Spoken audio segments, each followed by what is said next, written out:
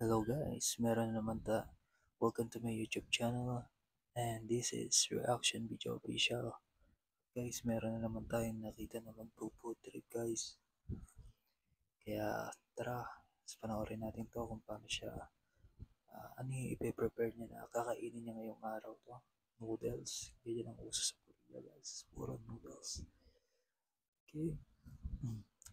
Ito yung lasa ng noodles na no? Masarap kaya. Mm, okay.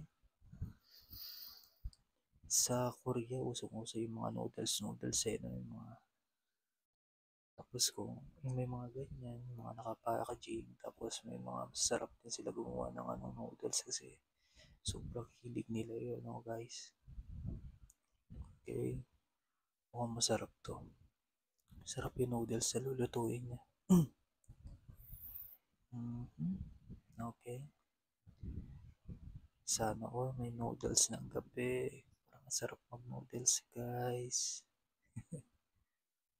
okay, magluluto siya ng noodles, guys. Pero hindi natin matatapos itong video dahil hanggang dito na lang muna ang ating video, guys. And thank you for watching.